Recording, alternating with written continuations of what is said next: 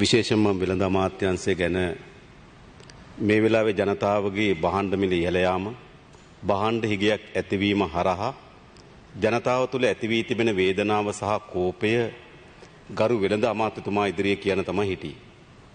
හැබැයි එතුමා එතුමාගේ වේදනාව සහ කෝපය අපි ඉදිරිපිට කියනවා. ඉතිං එතුම කරුණු දෙකක් ගේනවා. එකක් තමයි දේශපාලන අධිකාරියට එහා ගියපු නිලධාරි පැලන්තියක් හැදිලා තිබෙනවා කියන එකත් දේශපාලන අධිකාරිය බලවත් තැන්වලින් එකන මුදල් අමාත්‍යවරයත් ජනාධිපතිවරයත් අමාත්‍යවරුන්ට අදාළ සහය නොදෙන බව. මේකන කියන්න. කෙන මුදල් අමාත්‍යවරයා තමන්ගේ සෙස් අර මුදලේ මුදල් තමන්ට ලබා නොදන බවත්.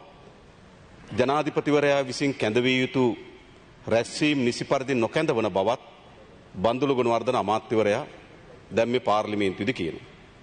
ඒකෙන් පෙන්නුම් කරන්නේ සභාපතුමනි ඕ අනේ ඉතින්. දිගටම දිගටම. දිගටම මේ ආණ්ඩුවේ පමණක් නෙවෙයි පැරණි ආණ්ඩුවලද එසේ සිදුවී ඇති බව බන්දුල ගුණවර්ධන ගරු අමාත්‍යතුමා ඔහුගේ මතු ආරක්ෂාව වෙනුවෙන් ප්‍රකාශ කරන බවද මා දන්වා සිටින කැමති ගරු සභාපතිතුමනි. මම ප්‍රතික්ෂේප කරන යහපාලනය. ඒක නේද මා දන්නවා එහෙම එහෙම මතු ආරක්ෂාවක් දාගන්නේ නැත්තම් නේද? අද අද අද අද ඔබතුමා එකි ගසමින් කියපු ප්‍රකාශය ඊළඟ දවසේ අඩා වැටමින් කියන්න සිද්ධ වෙන්නේ. හරි. හරි හරි හරි. එනිසා මම කියන්නේ ඇත්තට මෙහෙම තියෙන්නේ. කියන්නේ අපිත් පිළිගන්නවා දේශපාලන ඔව් ඒකද අපේ විපක් සංවිධායකතුමා කියන පාර්ලිමේන්තු සුළු පැමිණිලි අංශයක් වගේ කියලා. ඉතින් මම කියන්නේ ගරු සභාපතිතුමනි අප පිළිගන්නව රටක් සංවර්ධනයේදී දේශපාලන අධිකාරී තියෙන ස්වාමිකත්වයක් ඒ දේශපාලන තීන්දුව තීරණ හා බැඳුණු නිලධාරි යාන්ත්‍රණයකුත් අවශ්‍ය බව. හැබැයි දැන් එසේ නැතුව තනි කෙනෙක්ගේ හිතුවක්කාරී වැඩවලට හෝ තනි කෙනෙක්ගේ විශ්ම කර්ම වැඩිවලින් රටක් ගොඩගන්න බැරි බව තමයි මේ පෙන්눔 කරලා තිබෙන්නේ. අමාත්‍ය මණ්ඩලය තුල සමගි ආරක්ෂා කරගන්න බැරි නම් අමාත්‍ය මණ්ඩලය සාමීක මේකට මුහුණ දෙන්නේ නැත්නම් Taman යටතේ ඉන්න නිලධාරි කණ්ඩායම් ඒ සාමීකත්වය සඳහා කැඳවා ගන්න බැරි නම් ඒ දුර්වල අසාර්ථක අසමත් පාලනය. හැබැයි මේ දුර්වල අසාර්ථක අසමත් පාලනය අමාත්‍යවරන්ට හෝ ජනාධිපතිවරයට හෝ ආණ්ඩු පක්ෂ නියෝජනය කරන මන්ත්‍රීවරුන්ට පමණක් නෙවෙයි බලපාන්නේ ඒක අද අපේ රටේ පොදු ජනතාවගේ විශාල පීඩනයක් ඇතිකොට තිබෙන. විශේෂයෙන් ගත්තොත් ඔබතුමාට මතකයි අද බහන්ඩ මිල විශාල ලෙස ඉහළ ගොස් තිබෙන. ඒක පුරවැසියන්ට දරාගන්න බැරි පමණ ඉහළ යාමකට ලක් වී තිබෙන. වගේ විශාල බහන්ඩ හිගයක් මතු වී තිබෙන. විශේෂයෙන්ම ගත්තොත් ඔබතුමාලා විශාල ප්‍රයත්න දැරුවා සහල් මිල පාලනය කරන්න. අවස්ථා ගණනාවකති ගැසට් ගැහුව. බන්දුල ගුණවර්ධන අමාත්‍යවරයත් කුසිකර්ම අමාත්‍යවරයත් අවස්ථා ගණනාවකදී. විවිධ මට්ටමෙන් සපත කොට සිටියා සහල්මිල මේගාන මේගාන මේගාන කළ විවිධ ගැසට් විවිධ සපත කිරීම. හැබැයි කිසිදු සපත කිරීමක් අද මහපොළොවේ සිදුණු වේ ඇති බව තමයි පෙන්눔 කරන්න. ඒ සඳහා අපිට මතකයි ජනාධිපතිවරයා හදිසියේ හදිස් නීති යටතේ අත්‍යවශ්‍ය සේවා අත්‍යවශ්‍ය සේවා කොමසාරිස්වරයෙක් පත් කරා. ජෙනරාල් නිවුන්නැල්ල. එතුමගේ ඉල්ලා පොළොන්නරුවේ මෝල් වැටලුව. මා දැක්කා ඔල්ලොරසන් දෙන්න පටන් ගත්ත පාර්ලිමේන්තු මන්ත්‍රීවරු. මෝල් වැටලුව මෝල් හිමියන්ගේ මාෆියාව කැඩුව ඔන්න දැන් තමයි ජනාධිපතිවරයා ආරක්ෂක ලේකම් භූමිකාවට පනපවන්නේ වැනි වැකිලිව්ව. හැබැයි මා දැක්ක එදාම පත්තර එදාම මාධ්‍යවල වාර්තා වෙනවා පොළොන්නරුවට ගිහිල්ලා අරන් ඇවිල්ලා තියෙන හාල් ලොරි 35යි. ලොරි 35යි. ඉතින් පොලිම එනකොට ජනතාවට පෙන විශාල ලොරි ප්‍රමාණයක් ගේනවා කියලා. හැබැයි ලොරි එක තියෙන මෙට්‍රික් ටොන් 20යි. ඒතකොට 35 කියන්නේ මෙට්‍රික් ටොන් 700. දවසකට සහල් පරිභෝජනයට ඕන මෙට්‍රික් ටොන් 6500. දවසකට සහල් පරිභෝජන මෙට්‍රික් ටොන් 6500යි නිවුල් ඇල්ල ගිහිල්ලා මෝල් වටලා මෙට්‍රික් ටොන් 700ක් ගෙනලා කියනවා හාල් මිල පාලනය කරන්න ඉතාමත් බරපතල බලතල ක්‍රියාත්මක කරන්න පටන් ගත්තා කියලා. හාල් මිල නෙවෙයි. උදේ කැඳ වේලක් බොන්න හාල් මදි. ඒ මෙට්‍රික් ටොන් 700. ඒ නිසා මෙවැනි ප්‍රදර්ශන ව්‍යාජ සහ සැරසිලිකාරී පැතිවලින් මේ බහන්ඩ මිල පාලනය කරන්න බෑ. ඒ නිසා ඒ වගේම මා දැක්ක දැන් බන්දුල ගුණවර්ධන අමාත්‍යවරයා කැබිනට් පත්‍රිකාවක් දාලා හාල් මෙට්‍රික් ලක්ෂයක් ආනයනය කරන්න. ඒකෙන් හාල් මෙට්‍රික් ටොන් 20000ක් ආනයනය කරන්න කරා කියලා වාර්තාවක් පළ වී තිබුණා. හාල් මෙට්‍රික් ටොන් 20000ක්. ඔව් කෙටියෙන් ඔබතුමා ඔව් ඔබතුමා සෑහෙන වෙලාවක් කතා කර වැඩි දිනුත් තරම් කතා කරා. ගරු කතාකතුමනි මීට පෙර හැමදාම ඉතිහාසයේ හාල් මෙට්‍රික් ටොන් 7000ක් 6000 3000 2000 ආනයනය කරලා තියෙනවා. අතිකරු ජනාධිපතිතුමා තීන්දුවක් ගත්ත හාල් ඇටයක්වත් ගේන්නේ නැහැ කියලා ඒක ඉතාම හොඳ තීන්දුවක්. ඒ නිසා හාල්මිල අපිට පාලනය කරගන්න බැරි වුණා. දැන් ගෙනල්ලා තියෙනවා. අර කලින් ටෙන්ඩරේට වඩා අඩු මිලට. හරි හරි හරි මෙටි 20000ක් නැගිටලා 20000යි. හරි මම බුරුම රජය සමග රජයෙන් රජයට ගේනවා. මට ගෙනාගත්තු ගණන් 100ට අඩුවෙන් දෙනවා. මට ගෙන්- ගෙන්නපු. ගාන විතරයි දැනගන්න ඕනකම තිබුණේ හරි. මම විශේෂයෙන්ම අමාත්‍යතුමාට මගේ කතාව ඇතුළෙත් මම කතා කරන්න ඉඩ දෙන්නේ එතුමාගේ වේදනාව මේ විදිහට ප්‍රකාශයපත් කරන්න නැවත නැවත අවස්ථාව දෙන්න ඕන කියන අදහසින්. ඉතින් අ, ගරු සභාපතිතුමනි ඉතින් මෙට්‍රික් ටොන් 20000 තමුන්වන්සේ ආනයනය කරන්න තීරණය කළා. මීට පෙර මෙට්‍රික් ටොන් 3000 ආනයනය කරලා තිබෙනවා තමයි. හැබැයි ඒවා විශාල වශයෙන් ගත්තොත් සංචාරක ව්‍යාපාරයට අවශ්‍ය වෙන බාස්මති සහල් ආනයනය කිරීම වෙනුවෙන් තමයි ඒවා ගෙලා තිබෙන්නේ. තමුන්වන්සේ මෙට්‍රික් ටොන් 20000. දැන් මේ මෙට්‍රික් 20000 මේ සහල් මිල පාලනය කරන්න පුළුවන්ද? මෙට්‍රික් ඔබතුමා පස්සේ පිළිතුරු දෙන්න. ලක්ෂයකට ලක්ෂයකට හරියට මං කියන්න. හරි දැන් ලක්ෂයකට ගෙනත් තියෙනවා. මෙට්‍රික් ටොන් 20000 කියන දවසක අවශ්‍යතාවය මෙට්‍රික් ටොන් 6500යි. ඒ 20000 කියන්නේ කිය දවස් 3කට හාල්. ඉතින් දවස් 3කට හාල් ආනය කළා 365ක වෙළඳපොළ පාලනය කරන්න පුළුවන්ද? හරි බලමුකෝ. හරි දැන් තමුන්නාංශ මොනතරම් දේවල් කිව්වද හාල් මිල පාලනය කරන්න කිසිවක් සිදු වී නැහැ. හැබැයි මෙතන තියෙන හාල් නිස්- වී නිෂ්පාදනය අඩුවක් නෙවෙයි. මහ බැංකු වාර්තාව කියනවා වී මෙට්‍රික් ටොන් අ, මිලියන 5.4ක් ගිය ගිය අවුරුද්දේ යල සහ මහක් දෙකන්නේ නිෂ්පාදනය වී ඇති බව.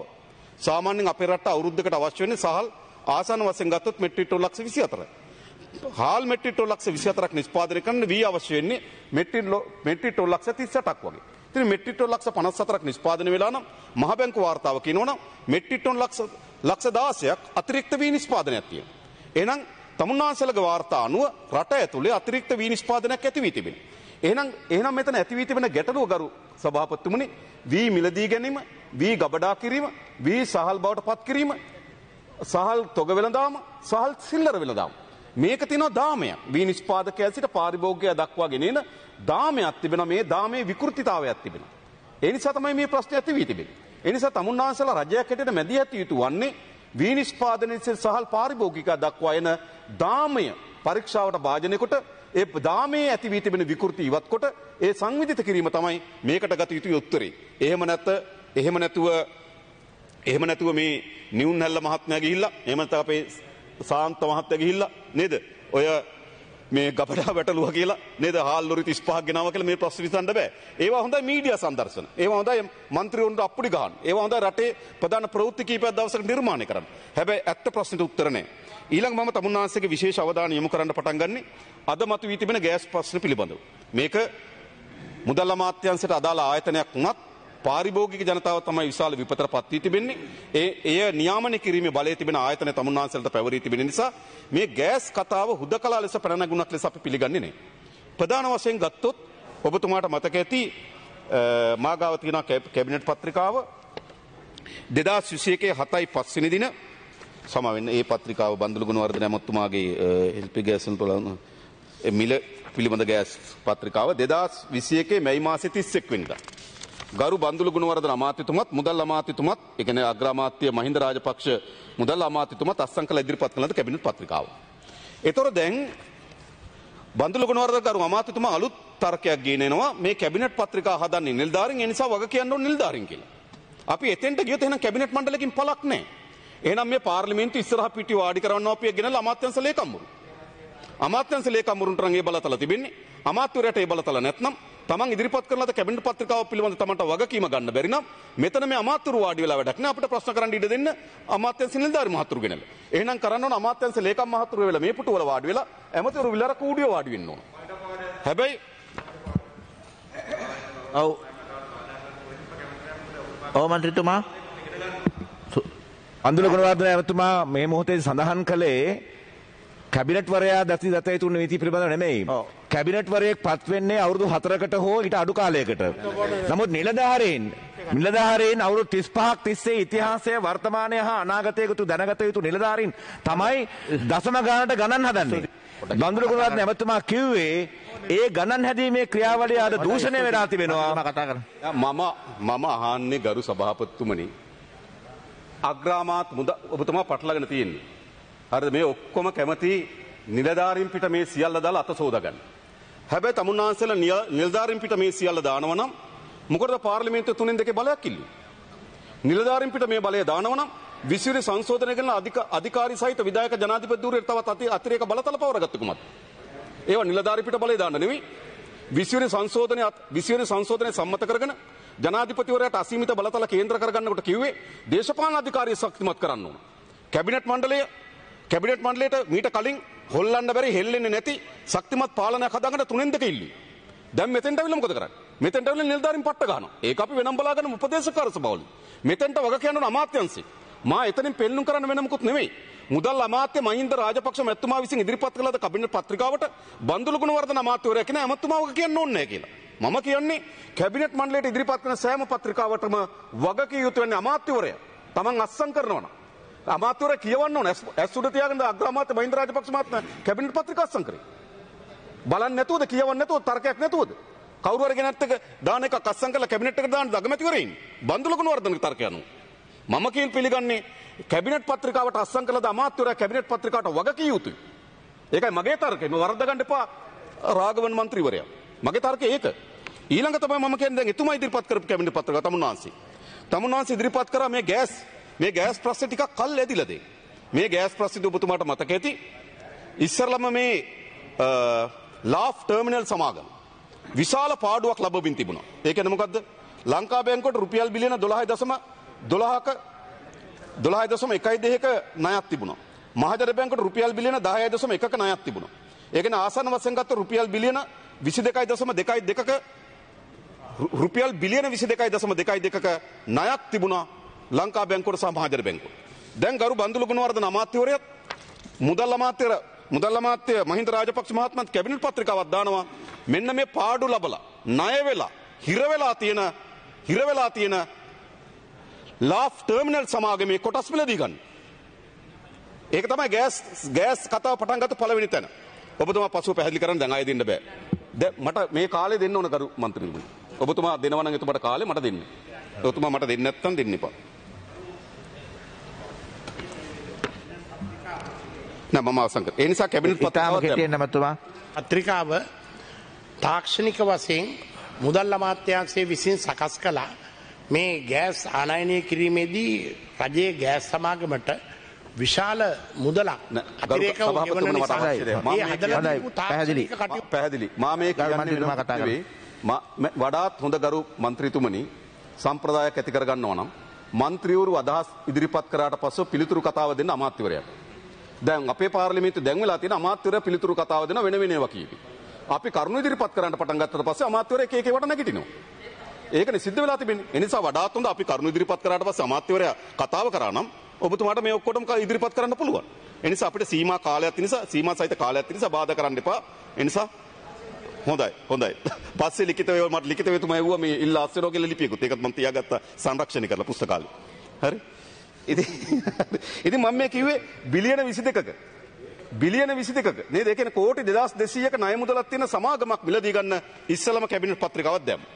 සේ කැබිනට් පත්‍රිකාව පිළිබඳ කැබිනට් මණ්ඩලයේ විවිධ සංවාද විවාද ඇති වුණා. ඊට පස්සේ නැවත කැබිනට් මණ්ඩල පත්‍රිකාවක් ආවා. ලාප් සමාගමටත් ඊළඟ ලිට්‍රෝ සමාගමටත් දෙකටම ගෑස් ගෙනීම සඳහා වෙනම සමාගමක් හදන්න. ඒතර ඒ කැබිනට් කැබිනට් මණ්ඩලයේ ඒ සමාගම හැදුවා. හැදුවා විතරක් නෙවෙයි අවස්ථා දෙකක් අධ්‍යක්ෂ මණ්ඩල රැස් වුණා. විශේෂම සෙල් අ, ල- ලිට්‍රෝ ගෑස් සමාගමේ අධ්‍යක්ෂ මණ්ඩලයේ පස් දෙනෙක් සහ ලාෆ් ගෑස් සමාගමේ දෙදෙනෙක් සහිත මේ අධ්‍යක්ෂ මණ්ඩල රැස් වුණා. එතකොට දැන් ලිට්‍රෝ මේකේ විශාල මිලදී ගැනීම තිබෙන්නේ ලිට්‍රෝ ගෑස් සමාගමට ගෑස් සපීම මිලදී ගැනීම. ඒ මිලදී ගැනීම සඳහා වෙනම උඩින් ආයතනයක් ඇදුවා. ඒක ගෑස් එක දෙවනි පියවර. ඊට පස්සේ මා දන්නවා ඒ ඒ අධ්‍යක්ෂ මණ්ඩලය රැස්වීම නතර වුණා తాවකාලික නමුත් කැබිනට් පත්‍රිකාව අනුමත වෙලා තියෙනවා. හැබැයි දෙපාරක් අධ්‍යක්ෂ මණ්ඩලය රැස් වුණා. ඊට පස්සේ ප්‍රශ්නයක් ආවා ගෑස් මිල ඉහළ දාන්න කියලා. මිල ඉහළ දාන්න කියලා විශාල සාකච්ඡාවක් ගියා. බන්දුල ගුණවර්ධන අමාත්‍යවරයා මම දැක්ක මං ගාව පත්‍ර පත්‍ර ප්‍රවෘත්තියකුත් තියෙන එතුමා ඇත්තටම එතුමාට මෙච්චර අසීරුතාවයට පත් වෙන්නේ එතුමා ඔය හැම එකටම උත්තර දෙන්න කතා කරන්න යන්නේ නැත්තම්.